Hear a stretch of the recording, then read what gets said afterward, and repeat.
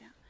Uh, because of um, the violent attack on Salman Rushdie, we uh, would like to ask you to adopt a resolution in his defense. We'll read it here for you, and we'd like you to vote uh, if, if you are uh, in agreement with the resolution.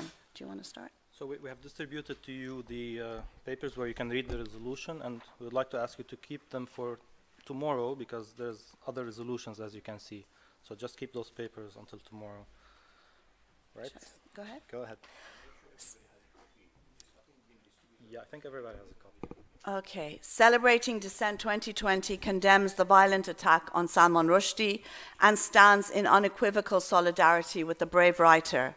We are pleased to finally see support for Rushdie rather than the usual vilification and victim blaming that comes after freethinkers are targeted by the Islamist movement.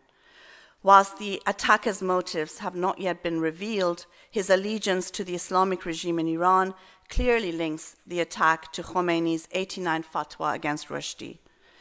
The Iranian regime in specific and the Islamist movement in general have responded to any free thought with terror and violence over decades.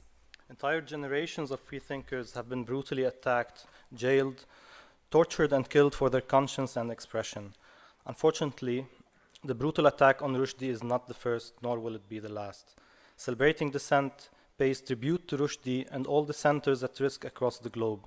We will continue to celebrate the rights to apostasy and blasphemy until no one is persecuted for their conscience and expression.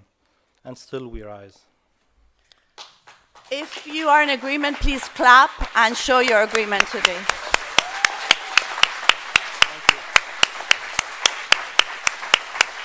Thank you.